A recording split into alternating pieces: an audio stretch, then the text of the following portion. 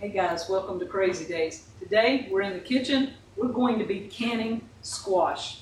So I'm going to show you the process right quick. I've been at it all day. I've canned seven uh, quarts of potatoes first thing this morning. Then I started on the squash for a friend. And right now I have 14 jars sitting on my cabinet that's done. This is quart jars. I've got seven more in the canner. When it uh, cools down is coming out, so that's 21. We're on the last seven jars of squash. Now I don't think I'm gonna have seven, so if we don't have enough, potatoes can at the same um, amount of time, 40 minutes. So we're gonna fill up the quart jar, see how many jars we have of squash for the last canning today. And whatever's left, we've got potatoes ready. We'll finish out the canner with potatoes.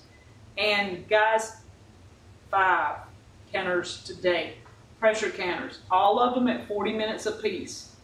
I've been going since early morning, so I'm tired. If I make a mistake, y'all bear with me. Okay, one of the first things we do is we cut up the squash in round pieces like this.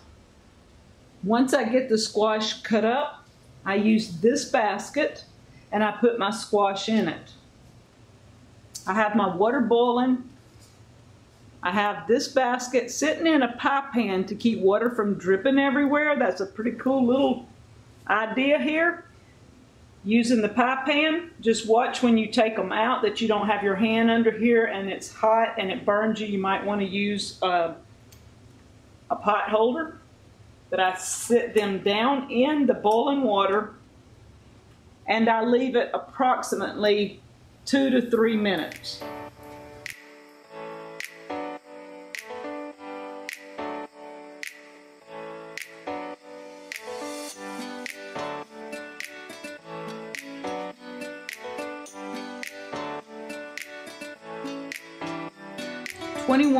21 quarts of squash with a few more to go. And I've still got supper to cook, guys. We drain these. I put them over my pan for just a second. And I have a stainless bowl that I dump them in. And then I add more. Two to three minutes, you're through with the blanching process. And then we just do a rotation thing. Once you get these out, you put these back in.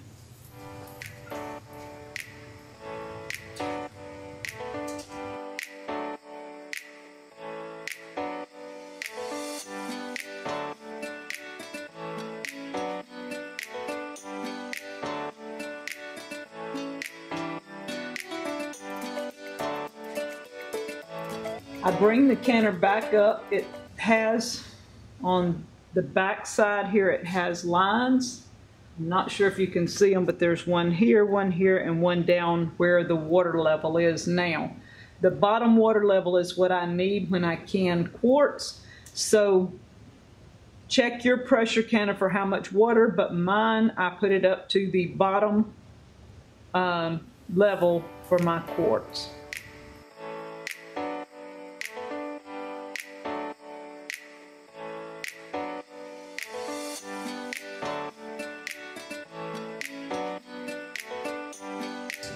Okay, looks like we're almost going to have four uh, of these filled, and that's usually what it takes to do seven uh, quarts. So we're going to be close to having our seven quarts, but we have potatoes on standby, cut and ready to go into the water. I have on the back, I have my jars in hot water. I just took this one out, and we use the tongs to take them out with. I'm going to go ahead and put my salt. I always do that first because I don't I don't like to um, forget the salt. So I put my salt in next and then just scoop these in. And they're hot, so I try really hard not to mess them up. And that's why I have this, it's called a Kitchamajig. I, this is put out by Ekco. One of the better products that I've ever had. I've had it for probably 20 years and it goes with me everywhere I go. It's the most handy kitchen tool that they make to me. I don't know if they even sell them. They probably sell something similar, but Ekco did a wonderful job with that. And this mat, we had Dee sent me this mat. She said I would love it. It's got these little prongs on the bottom, rubberized. It's made for, um, I don't know, I think it's a bar mat or something like that. So you spills and you've got to have something cushioned. Instead of me sitting here beating my hand, it's hot, I can do it on this. It seems to work really well.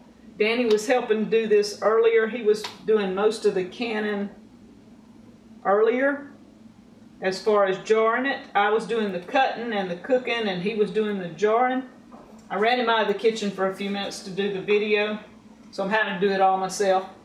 Um, then I just put water and let it slowly fill up.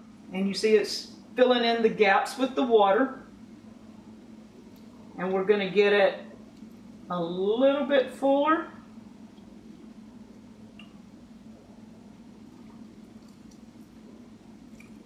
And I have a lot of people asked about debubbling. I have never debubbled. I don't usually debubble, but that right there will do it if you need it. If you want to take the little stick thing down and but you end up mashing or messing up your squash, um, I can do that and that settles it a little more.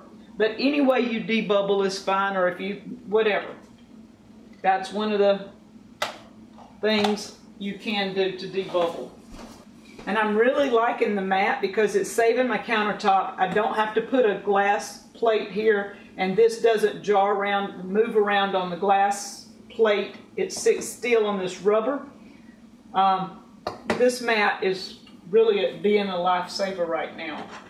Um, these jar um, rings and lids that were brought to can this for a friend, she brought the gold ones and they do not have any writing, so I don't have to line anything up. I tighten it, it's warm. I don't want to burn my hands. I hand tighten, then I put it in the canner, and it's going to can for 40 minutes. Okay, this is the fourth and final, fourth and final uh, pan of squash. I'm going to be adding potatoes. We're going to see if we can't have the potatoes ready in case. And if we do not need these potatoes tonight, we will tomorrow.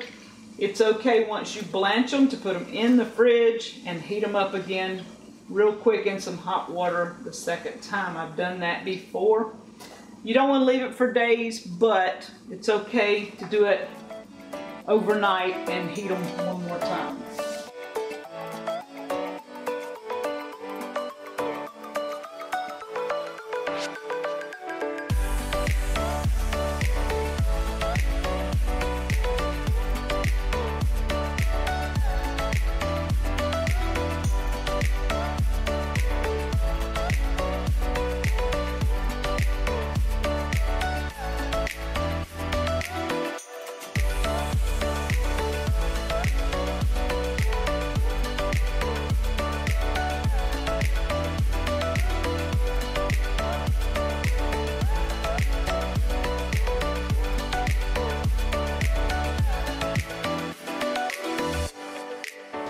Okay, so I've got three done. I've got the canner on because I'm through with the potatoes. The potatoes are in this bowl here ready for when we need them.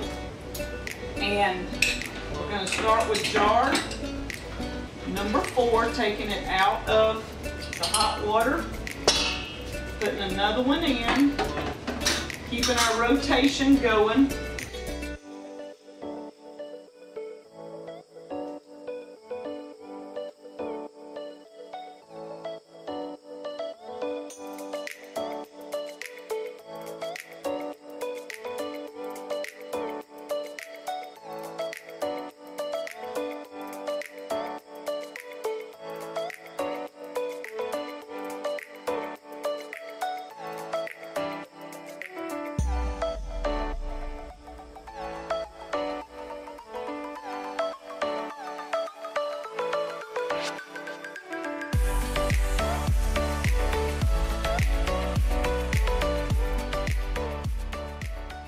Okay guys, now comes the fun part of canning. When you're tired, you're wore out all day long, and then all this has to be washed. These are the big pots, the big pans, all the stuff that you use. You have to wash them and dry them and put them away if you're OCD like I am.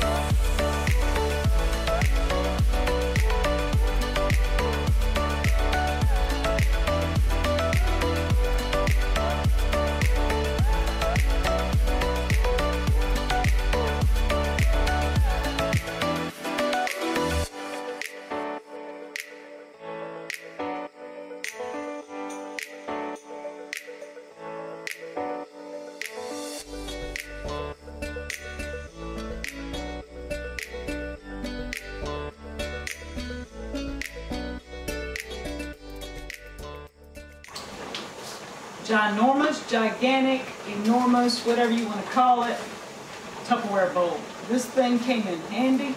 You're talking about when you need something to just throw a lot of food in at one time? Thank you, Angie's Pantry. Check her out, guys. Tupperware. That's what's happening when you need handy dandy extra bowls here. Okay guys, I want to show you two products that I'm using right now that I just started using. One of them is a drying pad. Simple, easy, nothing fancy. This thing came from the Dollar Tree, cost a dollar. It absorbs, it doesn't leave water going all over, so that's what I'm sitting my jars on and letting them drain. And all I've got to do, this can go in the washing machine, ready for next time. The pad I was talking about, this is a mat it's rubberized. It's almost like a rubber mat that you would put on the floor. And it's got these little, you see, that's what's going down on the top of the counter to give it cushion and airflow underneath so nothing happens. So this is what the rubber mat is called. It's a kitchen bar mat, I believe is what it's called. So if you're interested in these, I'm going to try and put a, a link in the description below if I don't forget.